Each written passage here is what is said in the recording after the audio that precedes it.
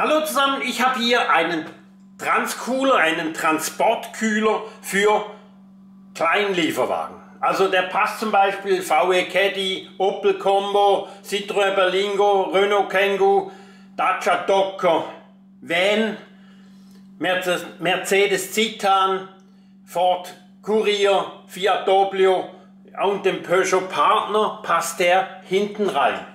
Durch das habe ich einen Kühlschrank im Auto. Der sieht dann innen so aus. Ich habe oben einen Kühler und ein bisschen Platz für Ware.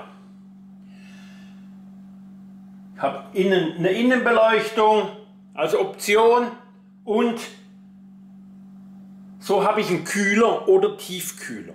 Ich kann ihn einstellen von minus 25 Grad bis auf plus 10 Grad ist im Prinzip ein kleiner Kühlraum, den ich hinten ins Auto reinschieben kann. Ich habe einen Türkontaktschalter. Sobald ich die Türe aufmache, geht der Kühler aus, bzw. der Lüfter und die Innenbeleuchtung hier als Option wieder an. Wir haben ja heute das Problem bei den modernen Autos, da gibt es zwei Möglichkeiten. Entweder habt ihr noch einen Verbrenner mit einem Euro 6 Motor mit einer intelligenten Ladekennlinie. Das heißt, die Spannung geht hoch, die Spannung geht runter. Wenn ihr auf die Bremse steht, geht die Spannung hoch von der Lichtmaschine und die Lichtmaschine bremst oder hilft zu bremsen. Das heißt, der Strom wird in die Batterie gespiesen und wenn ihr dann gemütlich auf der Autobahn fährt, dann fällt die Spannung teilweise bei den Fahrzeugen auf 11 Volt runter. Dieser Kühler, als Tiefkühler sowieso, braucht er bis zu 500 Watt Spitze von der Lichtmaschine.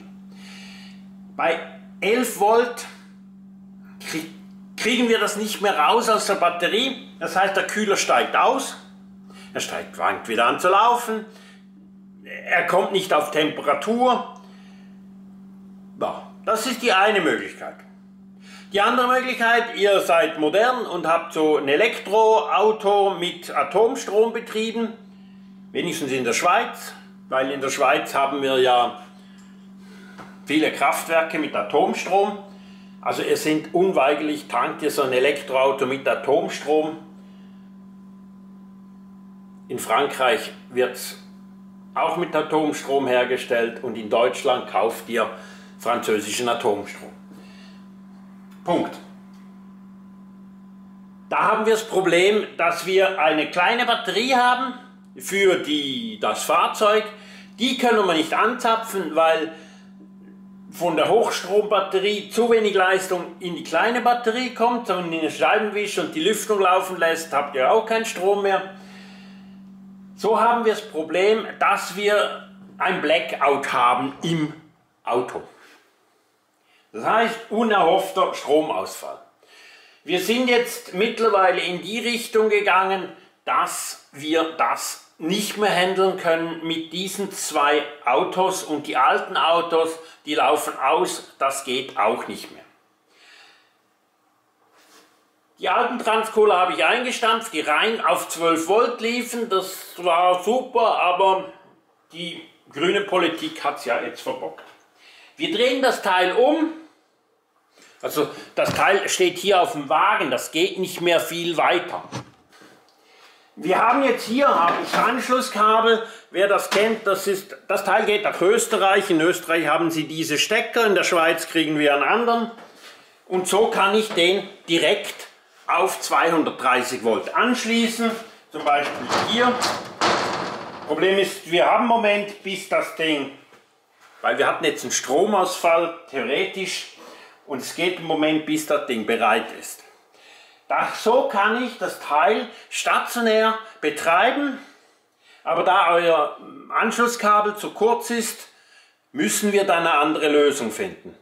Ein Wechselrichter auf die Batterie zu hängen, der dann uns 230 Volt produziert, das geht auch nicht, weil der Wechselrichter äh, geht auch in die Knie, weil er zu wenig Leistung hat. Jetzt läuft er, fängt er an zu laufen, Wir haben jetzt hier 14 Grad, das ist äh, die Temperatur, die drin ist. Es fängt zuerst der Lüfter an zu laufen, das ist ein rechtliches Problem betreffend den Kältemittel und ein bisschen verzögert, jetzt kommt der Kompressor. Nachher kommt der Lüfter innen drin und dann geht das Teil runter. Wir sehen von der Temperatur her, jetzt haben wir knappe 14 Grad. Ich bleibe dran. Wir lassen ihn laufen, obwohl vom Geräusch her natürlich ein bisschen lauter.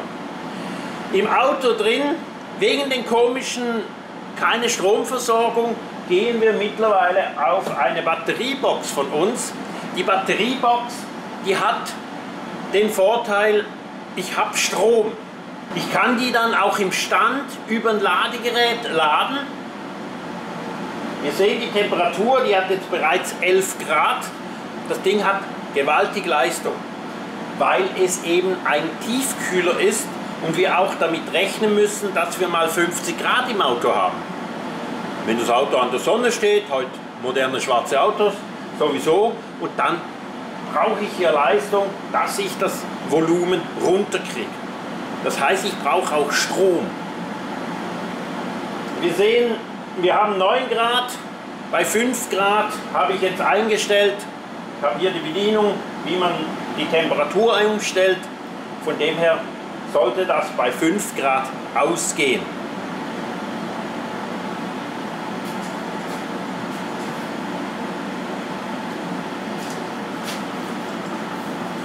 Hier habe ich zum Beispiel das Ladegerät für diese Box. Dann kann ich im Stand Kabeltrommel rausziehen ins Auto und dann kann ich diese Box laden. Und so bin ich im nächsten Morgen wieder einsatzbereit und kann damit rumfahren.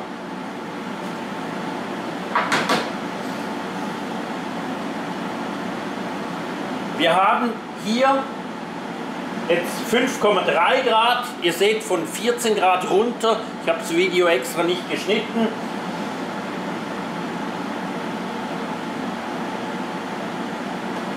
Geht noch ein bisschen weiter, weil er schaltet ab, ein bisschen tiefer. 5 Grad haben wir eingestellt, er geht runter, 2,5 Grad unter die eingestellte Temperatur und bei 5 Grad kommt er wieder. Wir haben also massive Leistung beim runterkühlen. Mit dieser Box hier läuft, also mit dieser Batterie, mit dem Wechselrichter integriert, das passt zusammen, haben wir eine Laufzeit von etwa 4 Stunden bei Tiefkühlung und etwa 14 Stunden bei Normalkühlung. Hängt natürlich von der Außentemperatur ab oder von der Innentemperatur im Fahrzeug. Dann ist das ganze Teil ist auch smart, das heißt, wir könnten übers Handy hier einloggen, der Link ist hier auf der Seite. Auf dem Handy können wir die Temperatur anzeigen, was macht der Kompressor und so weiter und so fort. Also das heißt, wenn jemand vorne im Auto sitzt und nicht hinten reinschauen will, dann kann er vorne schauen, da, hier ist es. Dann, wenn jemand länger unterwegs ist und sagt, ich brauche das nur sporadisch, haben wir hier bei dieser Batteriebox einen schwarzen Stecker. Der ist geschaltet über eine Trennrölle. Das heißt, wir haben hier ein Kabel dazu, das muss man verlegen im Fahrzeug, ist relativ dick.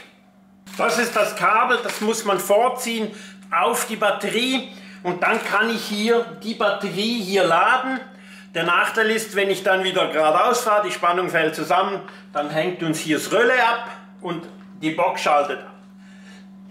Die Box schaltet nicht aus, aber die Ladung schaltet aus auf die Box. Sobald die Spannung wieder hochgeht, kommt sie wieder und dann ist das so ein Hin und Her. Der Vorteil mit der Batterie haben wir permanent Strom für dieses Kühlaggregat. Wenn ich so eine intelligente Ladekennlinie habe und ich dauerhaft Strom bringen will, dann kommt ihr nicht dran vorbei, zum Beispiel so einen Ladebooster einzubauen, von der ersten Batterie auf die zweite Batterie, das ist die zweite Batterie. So haben wir permanent den Strom von vorne nach hinten und wir können permanent diese Batterie laden. Für Kühlung reicht bei Tiefkühlung, sehr hohen Außentemperaturen, habe ich ein Defizit, wenn ich viel Pause fahre. Wenn ich da permanent fahre, permanent kühle, ist überhaupt kein Problem. Da habe ich permanent Strom von der Lichtmaschine. Nur mit dem Ladebooster, der wird geschaltet über die Zündung oder über den Motor, also D+, Klemme 15, sobald der Motor dreht oder die Zündung ein ist, lädt er. Wenn ich natürlich ausschalte, die Zündung ausmache, dann lädt er auch nicht mehr, aber die Kühlmaschine zieht weiter Strom. Das heißt, vom Strommanagement her ist es bei den heutigen Fahrzeugen ein Problem, dass wir den Strom kriegen für solch eine Kühlmaschine. Ihr habt gesehen, wie schnell das sie runterkühlt. Sie bleibt jetzt auch unten, sie braucht jetzt auch keinen Strom mehr.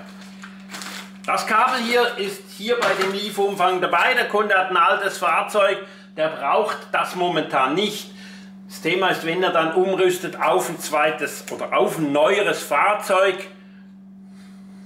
dann kriegen wir die Stromprobleme.